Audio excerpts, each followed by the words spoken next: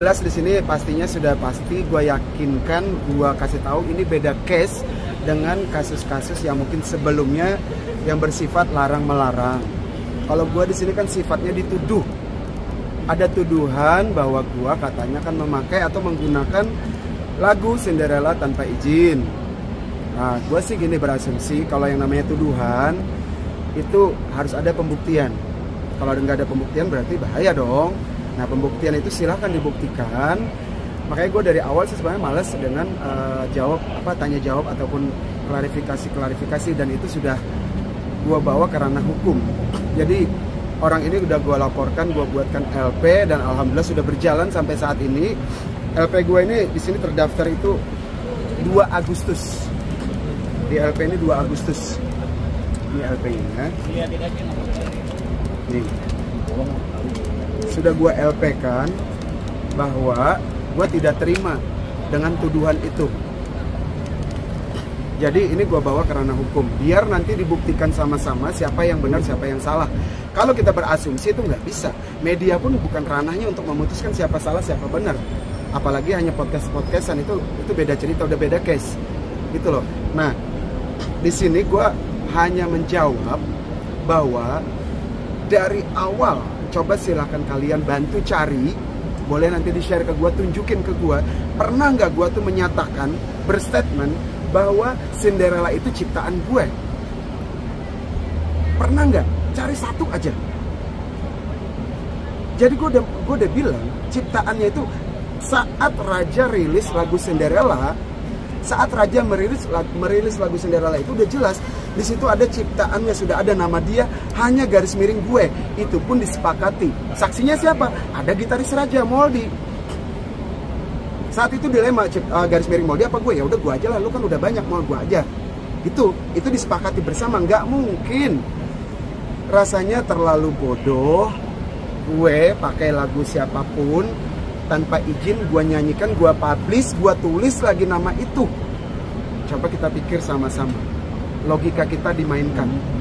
Gue juga mengajak teman-teman untuk jangan hanya membudidayakan, membaca, uh, apa, melihat, mendengar, menonton, pun membaca, monggo dimaknai, monggo dimaknai.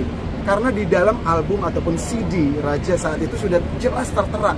Jadi gue nggak perlu lagi jawab itu ciptaan siapa. Udah jelas di situ gue juga malu kok ngakuin yang bukan ciptaan gue ngapain? Gitu loh. Hanya gue garis bawain lagi. Per nih per ya.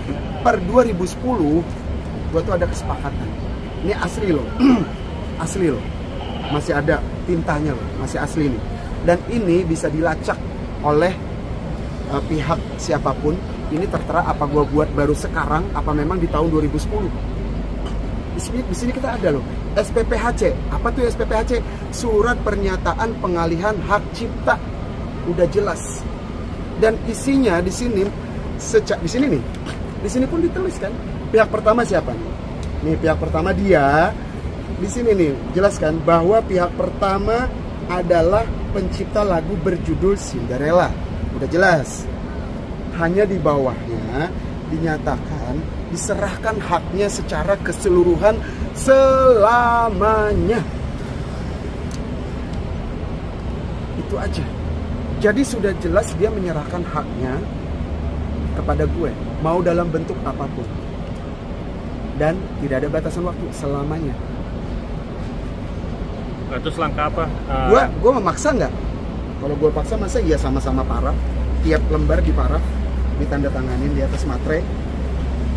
Masa iya sih? nggak mungkin dong gue maksa orang. Artinya ini kesepakatan. Gitu loh. Jadi uh, makanya atas atas ketidaknyamanan tuduhan ini gue akhirnya makanya gue bilang gue membuat LP ke Polda Metro Jaya biar kita buktikan sama-sama. Gitu loh. Jadi gue berharap publik publik ini gue yakin juga masih nggak nggak semuanya lah. Tapi yang mengetahui tentang lagu Cinderella ini jangan lagi bertanya itu ciptaan siapa Bang Ian. Udah jelas kok bukan saya penciptanya. Saya mengakui bukan saya tapi 2010 diserahkan haknya kepada saya. Di sini jelas saya ditunjuk berhak untuk mengakui ini menjadi lagu saya per 2010 sebelumnya ada nggak sih apa, komunikasi dengan beliau dulu sebelum mereka ya ini kan terjadi komunikasi. Terjadi komunikasi akhirnya terjadilah ini tanda tangan ini. Kasus, ini lagi naik Oh, enggak, enggak, enggak, enggak. Jadi gini loh. saya tuh dari awal ya saya nggak tahu. Ini cerita sedikit aja ya terserah kalian mau tulis atau enggak terserah. Nggak apa-apa sedikit aja. Yang jelas poinnya kan udah gue sampaikan tadi ya. 2, 25 gue event di Bandung 26 gue balik 28 gue harus ke Pekanbaru 27 eh 26 sore gue dikasih oleh uh, istri gue di rumah. Ini ada surat karena gue juga ngasih tahu somasi yang waktu itu somasi itu datang lo gue kaget kok gue dapat somasi? Ya udah gue oh sorry gue cut sedikit. Sebelum sebelum somasi memang dia ada telepon saya. Dia telepon tapi dia tidak mengakui adanya ini. Dia tidak mengakui adanya ini. Entah dia lupa atau sengaja saya nggak bisa menduga. Yang jelas saya sangat terang benderang mendengar dia tidak mengakui adanya tanda tangan berdua. Ya udah nggak apa-apa. Diperkuatlah oleh somasi dia lewat kuasa hukumnya preskon saya tidak ada bersurat terkait lagu sederhana oke ditambah lagi diperkuat lagi dengan podcastnya dia. Saya tidak bersurat tidak ada izin tidak ada apa-apa. Berarti tiga ini dalam tiga fase ini dia mengingkari